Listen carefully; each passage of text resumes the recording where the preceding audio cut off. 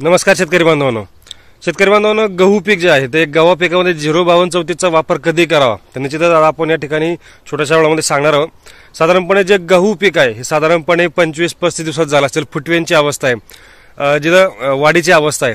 त्या वाढीमध्ये साधारणपणे तीस पस्तीस चाळीस दिवसानंतर या ठिकाणी आपलं बावन्न चौतीसची ग्रेड खूप गरजेचे आहे. कारण का?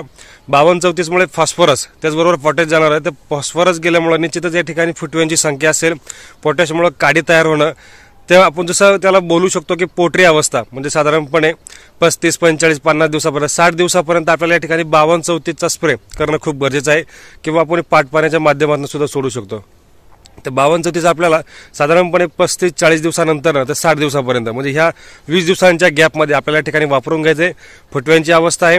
त्याच्यानंतर चांगल्या पद्धतीमध्ये काडी तयार झाली पाहिजे. तर निश्चितच आपल्या ठिकाणी बावन्न चौतीस चांगल्या पद्धतीने काम करणार आहे. तर हे नियोजन आपल्या या ठिकाणी करून घ्यायचं. आहे धन्यवाद.